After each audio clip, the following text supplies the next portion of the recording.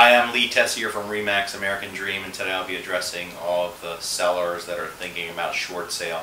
Uh, the tax laws that are in effect from 07 expire this year on December 31st. So, um, what that is is if you have a loss, say you bought in the high, height of the market in the last five to seven years, uh, say you paid 300,000 for a house and it's worth 250 or less now, um, and say you owe 300, you may have a $50,000 plus commission, transfer tax, and recordation, so it could be, you know, a sixty-five, seventy thousand dollar loss.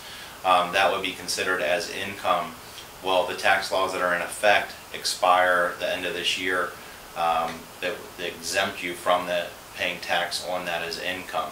So I'm not an accountant. We can set you up with one if you have some more tax questions. But this is going to be crucial for anybody that is doing a short sale on their primary residence, has not refinanced in the last couple years. So um, this is your avenue to paying less tax. So uh, most people are in a financial hardship at that point and can't afford to pay the additional taxes. So for additional information, feel free to contact me at my office, direct 410-638-9555, um, or our broker number 410-803-0900.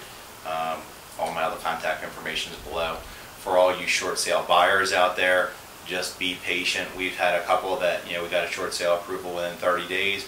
We have a lot of other ones that are 60, 75, 90 days or more to get that approval. Generally, you're getting a good, uh, you know, getting good buy, you're getting uh, a discount on the property, but you are having to be patient. So uh, just hang on if you're, you know, looking to buy a short sale because it does take a little bit of time. So feel free to email me or call me at the office for more information. Have a great day.